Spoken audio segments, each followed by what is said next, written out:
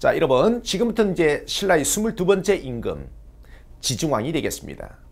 사실 신라가 4세기, 어, 5세기까지만 해도 어, 다른 백제나 어, 고구려, 심지어 뭡니까 인근에 있는 가야만도 못한 그런 작은 나라였죠. 그런데 이 신라가 6세기 지증왕, 버풍왕, 진흥왕 때 사실 아주 비약적인 발전을 하게 됩니다. 그 기초를 닦은 임금이 바로 이 지증왕이에요.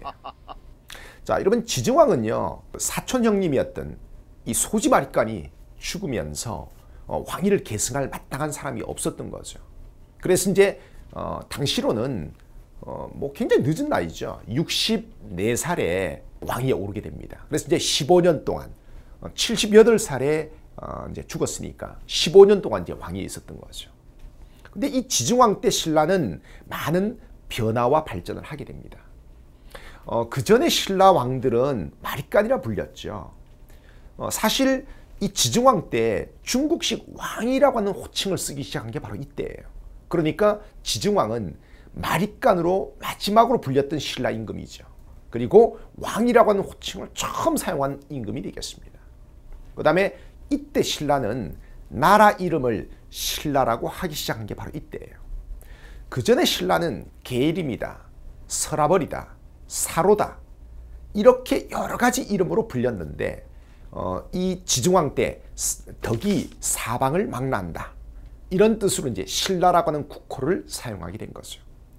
이 밖에도 어, 지중왕은요 나중에 통일 신라 시대까지 이어지는 주, 군, 현이라고 하는 이 지방제도로 정비하기 시작한 게 바로 이 지중왕 때가 되겠습니다. 그 다음에 어, 지중왕 때는요 농업을 크게 장려를 합니다. 그래서 이제 어, 우경, 소를 이용한 밭갈이가 시작되면서 이제 농업 생산력이 크게 증가를 하기도 합니다.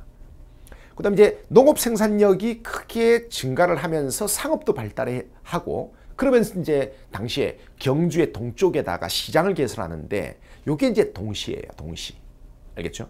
그 다음에 이제 또 뿐만 아니라 당시 이제 어떤 풍습이 있었냐면은 이 권력자가 죽으면 어, 처첩이나 노비를 함께 어, 묻는 이 순장 풍습이 있었습니다.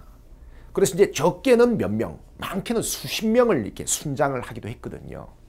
어, 당시 이제 이 지정왕 때 이 순장을 금지하는 영을 내리기도 하죠. 아마도 어, 농업 생산 활동에서 이 노동력이 그 이전보다 훨씬 더 중요해졌음을 보여주는 그런 어떤 조치가 아닌가라고 보여집니다. 자, 그런데 이 지정왕 하면 가장 중요한 게 뭐냐면은 512년에 이사부 장군을 시켜서 우상국, 지금의 울릉도를 복속시킨 겁니다. 어, 이 우, 이사부 장군은요, 어, 신라 왕손이에요. 그런데 지증왕 때부터 나중에 버풍왕, 그 다음에 이제 진흥왕 때까지 신라 최고의 장군으로 활약한 인물이에요.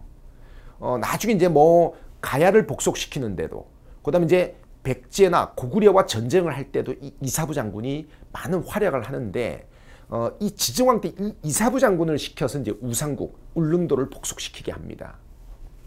자, 근데 이사부 장군이 어, 그냥 쳐들어갔다가는 뭐 이게 섬 사람들이 굉장히 용맹하다고 하니까 어, 신라군 병사들의 희생이 클 수도 있겠다. 그래서 이제 꾀를 낸 거죠. 그래서 이제 어, 나무로 사자 모양을 사자 모양의 어떤 동물을 이제 조각을 한 거예요.